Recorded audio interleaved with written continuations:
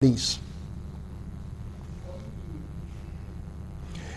In the same vein, some armed thugs, numbering about seven, on Wednesday allegedly attacked EndSARS protesters in Lagos with machetes and other dangerous weapons. Though some of the EndSARS protesters sustained several degrees of injuries, three of the alleged sponsored thugs were caught and handed over to the police.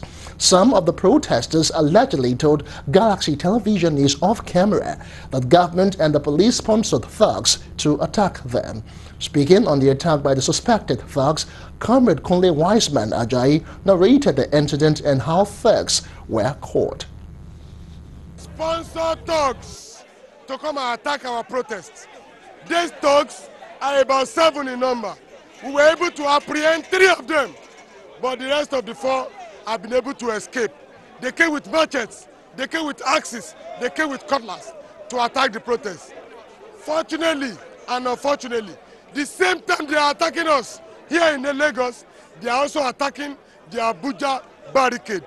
What this means is that the federal government of Nigeria, in conjunction with Governor Babajide Sanwo-Olu, are prepared to stop our demands. They are prepared to stop our protest and they are prepared to divide and rule this barricade. We want to be sure and we are very sure and we want to take note and we are taking note that there is a security committee handling this protest.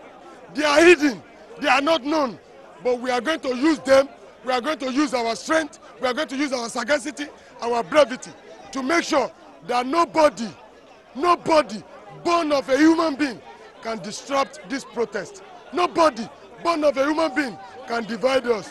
Nobody born of a human being can do such other things to make sure that this protest is not continuing. Our demands are clear. End SARS, end police brutality, and end all shenanigans of government. We are going to meet again today for a congress, and we are going to decide further on what is to be done next. Thank you so much. My name is Kule Wiseman Ajayi.